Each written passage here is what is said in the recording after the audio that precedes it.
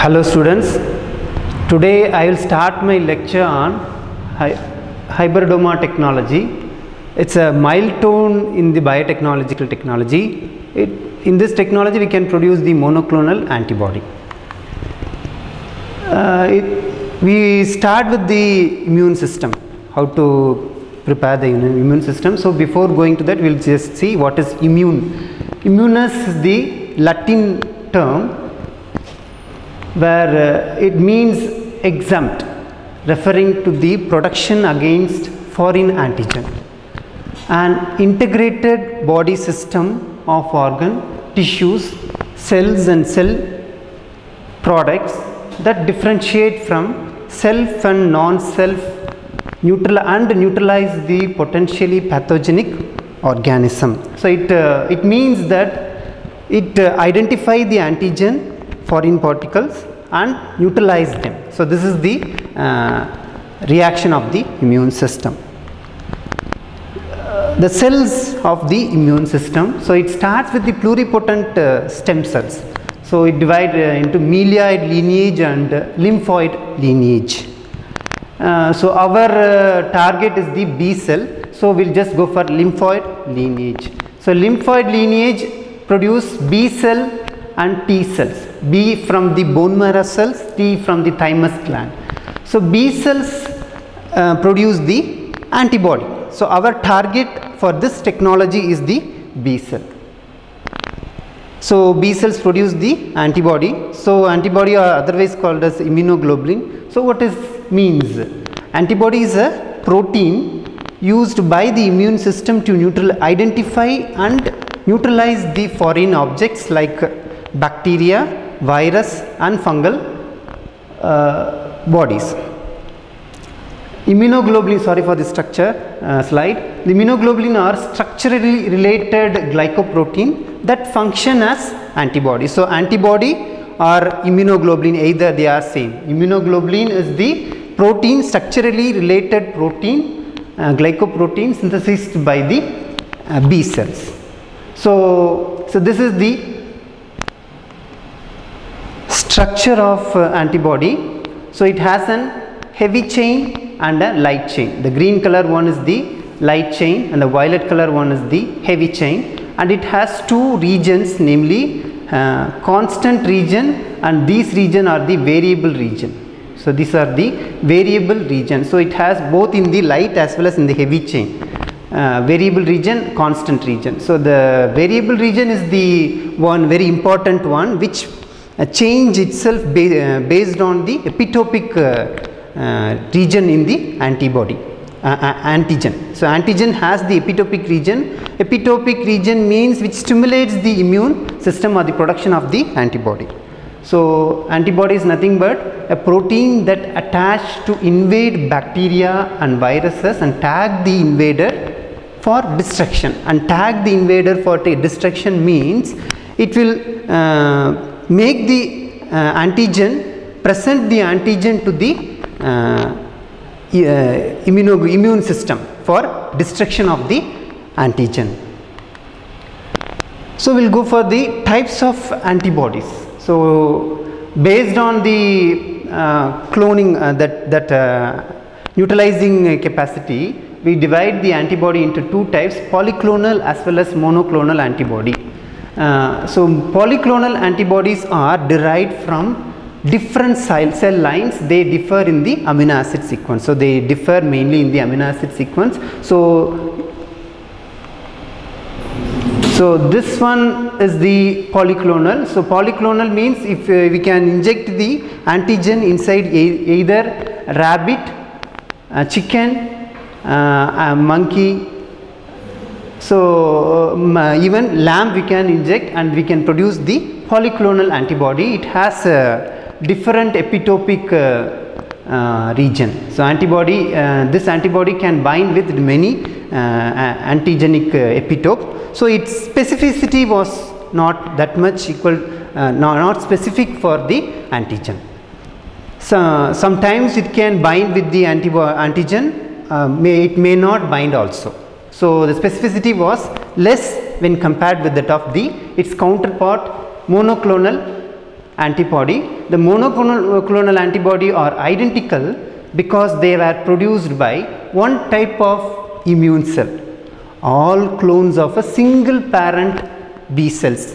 All clones of single parent B cells. So, uh, the, the epitopic region was very specific. It will bind with the antigen exactly. So, what is the variation between the polyclonal as well as the monoclonal antibody? So, polyclonal antibody derived from B lymphocytes, uh, different B lymphocytes cell lines. Okay, they are produced from the different B lymphocyte uh, cell lines. Monoclonal, uh, it's produced from a single B cell clone. It's a clone. Uh, so, it's a same cell which was divided into which produce the monoclonal antibody. Uh, so, there is a batch wise variation affecting the antibody reactivity and titer. So, there is a variation in the reaction how it react with the antigen, how it react with the uh, system. So, there is a variation in the uh, antibodies, uh, the polyclonal antibody. However, the monoclonal antibody offers reproducible and potentially inexhaustible supply of antibody with equistic specificity. So, the specificity was more we can say it's more than 100 percent 100 percent specificity we can uh, get with the monoclonal antibody but not with the polyclonal antibody. So, uh, polyclonal antibody is uh, it's an antibody produced against an antigen, but its specificity was less. So, we cannot use for uh, as a powerful tools for the clinical diagnostic test. Clinical diagnostic text, test we cannot use uh, we cannot uh, reliable on uh, rely on polyclonal antibody. However, monoclonal antibody enable development of secure immuno assay system. We can produce a secure, safe and secure immunoassay system. Uh, so, we just go for the uh, discovery of uh, antibodies, monoclonal antibody. So, uh, by the beginning of uh, uh, beginning of 20th century, Paul Ehrlich coined the term magic bullet and defined it and started uh, telling about the magic bullet.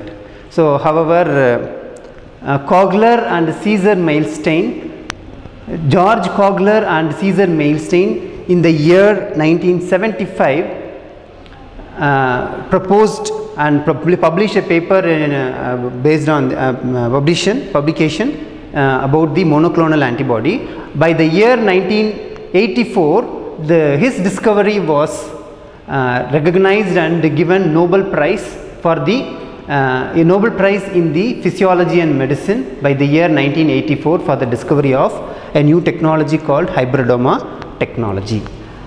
So, he proposed the work by 1975 and he got the Nobel and they got the new, uh, Nobel Prize by the year 1984 for the hybridoma technology. So, monoclonal antibodies types we can uh, classify the monoclonal antibodies according to the evolution. Uh, so, by the evolution the first generation is from murine. So, murine is nothing but mouse, mouse or mice, rat. Okay. So, the initially the antibodies are produced from the uh, mammalian system either uh, rat or rabbit, but mostly we use the uh, laboratory laboratory rats like uh, uh, albino Wistar albino or Wistar rats or mouse or mice. Okay. So this is the mostly of polyclonal type. So this is um, it's it's it's very uh, spe the specificity also very less compared with that of the, the second generation uh, antibodies. So, they are uh, chimeric, humanized and human. So, three types of uh, second generation antibody throughout the progression of monoclonal antibody development there have been four major types that is the murine, chimeric, humanized and human. The chimeric uh, antibody is the uh, mm, combination of both mouse and human. Okay. Uh, so, the I told that uh, um, variable region. So, this variable region is from the mouse uh, uh, gene and uh, remaining light chain as well as heavy chain uh, constant region was from the human. So about 65 percentage of the protein was human from human origin. Second one is the humanized. So about 95 percent of the protein produced was antibody was uh, um, human origin. The remaining 5 percent were based on the human mouse model. Uh, human is directly from the transgenic uh, mice which carries the uh, genes for the human which carries the gene for the immunized uh, immune uh, B cells. So, it can produce the human protein human antibody. So, it is an human antibody. According to the design the antibodies are divided into three types a naked monoclonal antibody, conjugated monoclonal antibody, immune toxin monoclonal antibody. So, this is an another uh, uh, very big uh, chapter uh, how to prepare how to design a uh, monoclonal antibody, but, but today our lecture based on the uh, hybridoma technology. So, just we, we can know what is uh, monoclonal antibody, conjugated monoclonal antibody, immune toxin monoclonal antibody. So, naked monoclonal antibody does not have any attachment or carrier. So, it does not have any uh, conjugated protein or conjugated radio or radioactive chemicals. So, it does not have like that. So, it is a naked one direct uh, monoclonal antibody. Uh, so, it does not have any side effects. So, conjugated monoclonal antibody it has an conjugated it's it was combined with an adjuvant it can, it can combined with an radio labeled uh, material or it can combine with an enzyme linked uh, uh, antibody. So, immune toxin monoclonal antibodies or uh, uh, inactivated toxic drug was attached with the antibody and those drugs can be a target for identification of the cancer cell line, cancer cells and by taking an another substrate to the uh, to that uh, immune system. So, it will be it will be converted as an toxin. So, that uh, cancer cell can be destroyed. So, this is the concept, but we, we can see this naked monoclonal antibody, conjugated monoclonal antibody and immune toxin monoclonal anti antibody separately in an another class. Next we just go into the principle the monoclonal antibodies are typically made by fusing myeloma cells and lymphocyte B lymphocyte cell uh, that is that one B lymphocyte should be immunized with the uh, desired antigen. Uh, hybridoma technology creates monoclonal antibodies produce hybrid cells by fusing B lymphocytes with the myeloma cells tumor cells. Hybrid cells so they have the capacity to produce the antibody because they have the genetic material of B lymphocytes and it can also uh, proliferate in the culture medium. Uh, the B lymphocytes nature is they can produce antibody but they cannot be cultured in an uh, in vitro method. They cannot be cultured in the because their lifespan was very very very short even within a single day it will go for destruction. So, uh, it, the hybrid cells only hybrid cells can, ha can have the uh, capacity to produce the antibody with uh, continuous culture in the medium that is inside the cell culture medium. So, this technology is very much useful that hybrid cells can be immunized with the uh, B lymphocytes and B lymphocyte will can fused with the uh, cancer cell, the tumor cell, myeloma cells. So, they have both the genetic material for the antibody production as well as they can divide in proliferate in the cell culture medium. So, they can satisfy the both the uh, uh, points. Uh, how to produce the monoclonal antibody there are about uh, 5 uh, steps involved in this uh, production of monoclonal antibody. First one is the immunization of the uh, mice. The mice was challenged with the desired anti antigen. For example, COVID-19, it can the virus can be uh, challenged with the uh, mice. So this mice uh, immunized with the or uh, challenged with the antigen. Uh, we can dissect the spleen cells and the spleen cells was disaggregated and we can go for go with the uh, fusion with the myeloma cells.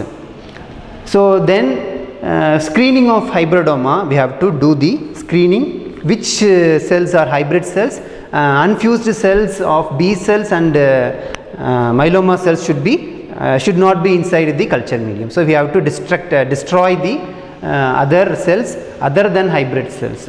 Another one culture of hybrid cells in the HAT medium. So, another one is the uh, uh, fourth one is the culture of uh, hybrid cells in the HAT medium.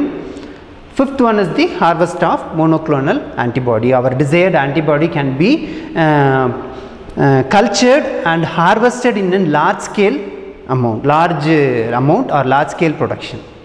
So, this one is the different steps involved in the production of monoclonal antibody. Next is the HAT medium. We should know what is HAT medium. HAT is nothing but uh, hy- hy- hydroxy amino hydroxy hydro hypoxanthine aminopterin thymidine hypoxanthine aminopterin thymidine so it's a it's a chemical so uh, i just got uh, struck with the name so hypoxanthine aminopterin thymidine it's a the, this this chemical was contained in the cell culture medium so it is called as HAT medium the selection of hybrid used in the selection of hybrid cells. So what is the principle behind uh, this uh, medium is myeloma cells are HGPRT deficient. So this is an enzyme uh, hypoxanthine glyc uh, guanine hypoxanthine guanine phosphorylase uh, phosphoribosale transferase so this is the enzyme hydroxy ಅಲ್ಲ hypoxanthine guanine phosphoribosale transferase is the enzyme which can which converts the simple sugars uh, hypoxanthine into guanine so these are all the uh, de novo and salvage pathways so aminopterin present in the medium will block the uh, simple sugars to be converted into uh, nucleotides. So, this is the de novo synthesis of nucleotides. For example, they require guanine for the uh, DNA synthesis. Guanine, guanine uh, nucleotide was required in the uh, DNA synthesis. So, that was blocked. So, they cannot grow in the medium. So, the B cells without HGPRT cannot be grown in the HAT medium. Hybrid cells, uh, they are positive. They have uh, uh, hypoxanthine, guanine, phosphor, phosphor, phosphate, uh, phosphoryl transferase. Hypoxanthine, guanine, phosphoryl transferase enzyme was present in the hybrid cells as well as in myeloma cells. But myeloma cells life cycle, lifespan was very short, so they cannot grow continuously grow inside the HAT medium. So only hybrid cells can grow inside the uh, HAT medium. So this is the marker uh, medium for hybridoma technology. With this technology only, with this medium only, they have developed the developed the technology. So thing is that HGPRT, hypoxanthine, I mean uh, guanine phosphoryl transferase enzyme blocks. Uh, they can convert the hypoxanthine into guanine. However, uh, the aminopterin blocks the uh, for conversion of uh, simple sugars into nucleotides so hypoxanthine so we cannot have the hypoxanthine so the b, b cells without HGPRT they cannot uh, survive in the HAT medium b cells they have they are uh, uh, HGPRT positive, but they still they cannot continue in the HAT medium because their life uh, their nature is there like uh, they cannot uh, continue for long time. So only uh, hybrid cells can continue in the HAT medium. Uh, B cells has the enzyme HGPRT. B cells uh, die soon. So the, that's what I told. They do not have the capacity to grow indefinitely because of their limited lifespan. The HGPRT is the hypoxanthine guanine phosphoryl transferase enzyme. Okay. So what are all the materials required for the uh, technology to continue. For the techniques to be carried out we need the um, requirement uh, ma- ma- materials required. So medium is HAT medium hypoxanthine aminopterin thymidine. Uh, fusogen agent is polyethylene uh, glycol. Uh, third cells what are the cells we required myelin spleen immunized with the antigen desired antigen and myeloma cells.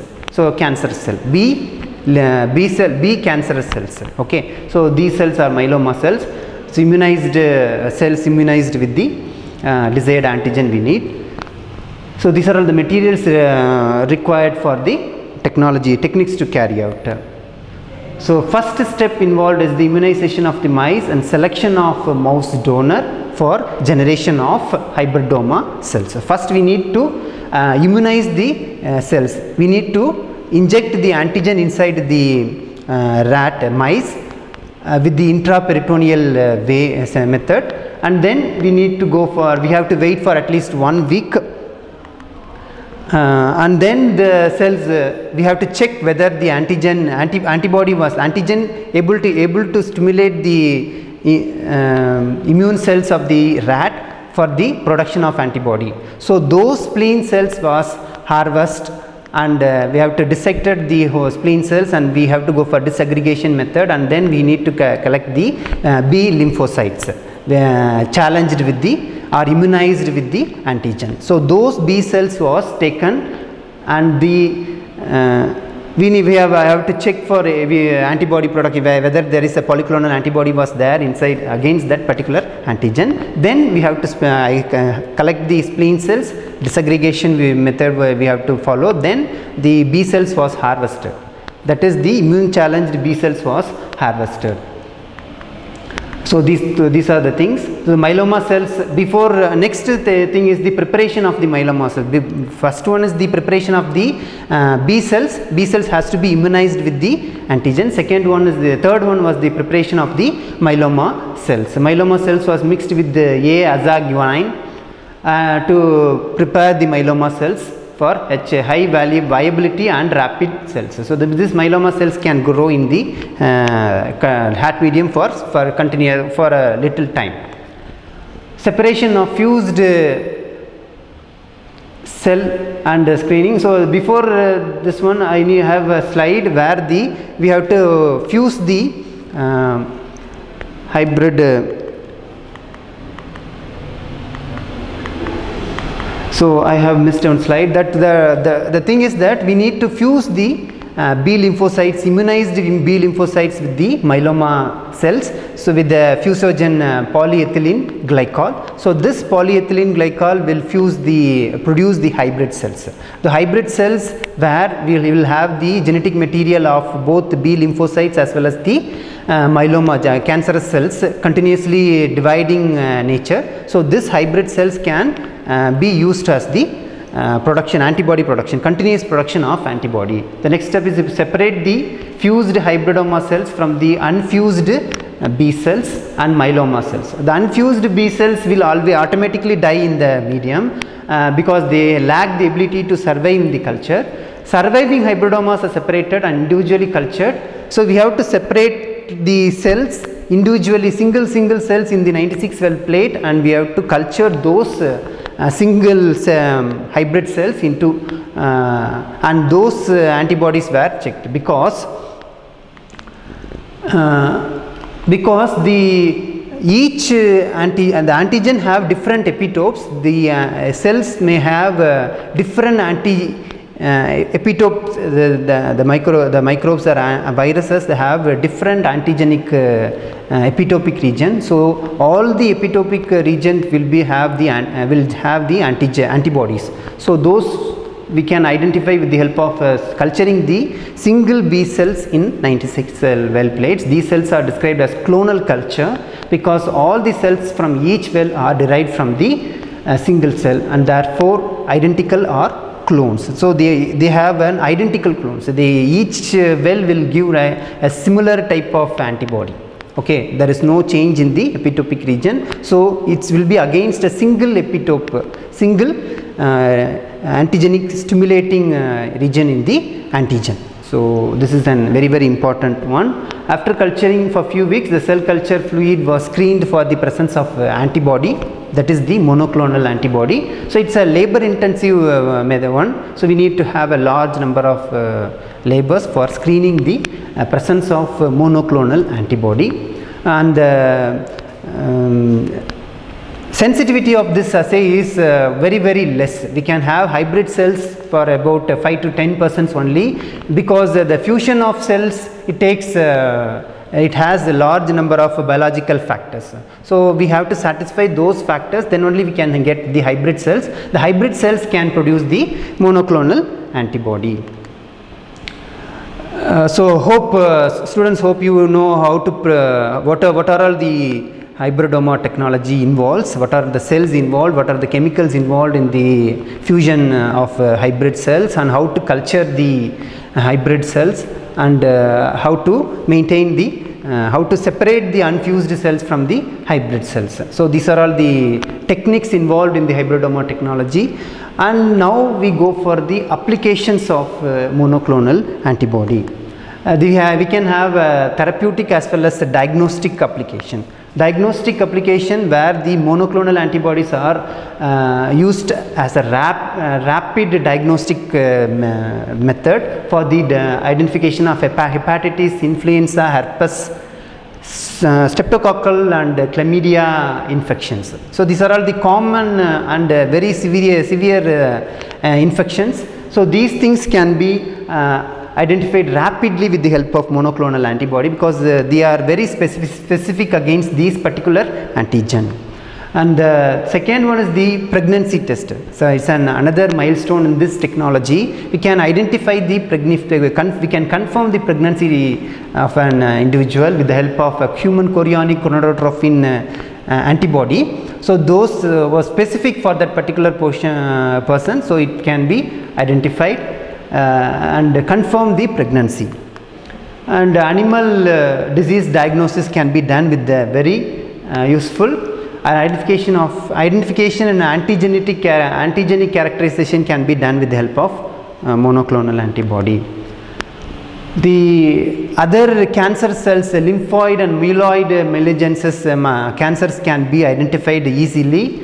Tissue typing which which tissue can be for uh, tissue grafting uh, auto, auto rejection can be avoided with the help of monoclonal antibody. Enzymes linked uh, immunosorbent assay so it's an enzyme linked uh, sorbent. So the those types uh, naked con- conjugated and uh, another type of uh, antibody I told. So this one is the immuno linked uh, immunosorbent assay enzyme linked immunosorbent assay we can do.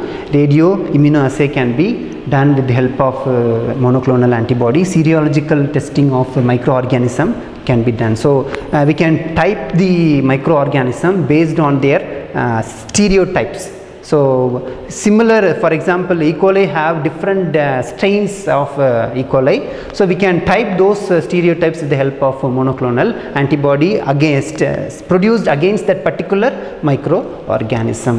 So monoclonal antibody can be produced in large amount in an homogeneous and reproducible form for a diagnostic as well as therapeutic purposes. So this is the uh, most uh, uh, highlight of the monoclonal antibody. So monoclonal antibody can be produced in large amount. That is the technology. We have biotechnological method. We can produce large, uh, uh, large commercialized uh, uh, technology, biotechnology. So we can have.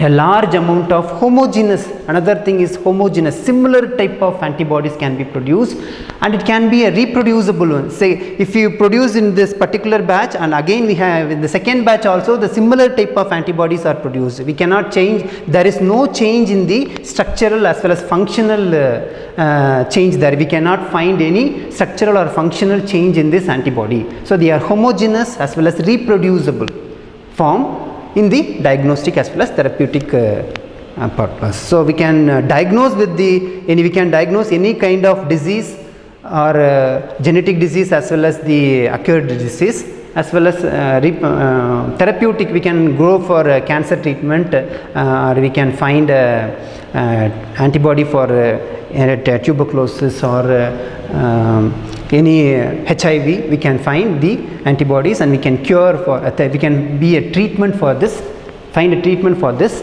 uh, particular disease. So hope students you might have understand what is this technology. I have a uh, just a uh, I have thrown a light on um, a new technology that is hybridoma technology how to produce a monoclonal antibody. With this uh, I will end this lecture